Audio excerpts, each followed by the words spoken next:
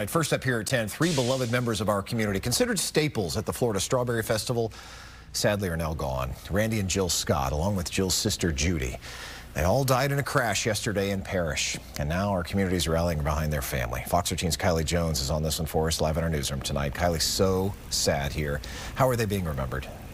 Mark, very tragic. People are still processing, of course. When you think of the Strawberry Festival here, a lot of you probably think of Randy and Jill Scott and Judy Cook. Their pastor says they had every intention of coming home yesterday, but he says their deaths now leave an inexplicably gaping hole in more ways than one.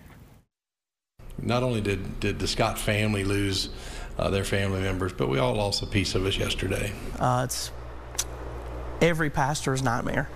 No pastor wants to go through what we've gone through over the last 24 hours. The nightmare of losing not one but three prized parts of a Plant City staple. If you've been to the Florida Strawberry Festival, you've heard this voice. Oh, we heard the national anthem when we opened. That was Randy Scott singing. When we heard Happy Trails at closing time, that was Randy Scott. Good afternoon, everyone, and welcome to the Florida Strawberry Festival. This For decades, Randy Scott was the voice of the Strawberry Festival. Nobody thought this year would have been his last. Randy, his wife Jill, and her sister Judy Cook were killed in a head on crash Monday in Manatee County. If you didn't know them, maybe that was their goal. They never sought the spotlight, they never wanted a pat on the back. Kyle Robinson, the president of the Strawberry Festival, says Randy, Jill, and Judy were vital parts of the festival from sunrise to sundown. The trio also held special spots within Graceway Church. Randy's always at the sound booth, but he took the Sunday off to worship beside his wife, Miss Jill, and Judy.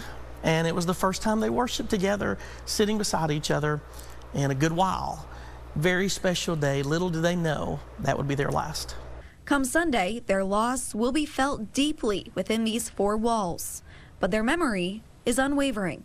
What an honor and a joy it was to be their pastor. And thank you for loving on our family and allowing us to love on you. And their family's pastor says he wants to have some sort of tribute to them on Sunday at their service in their memory. The crash is still under investigation, Mark.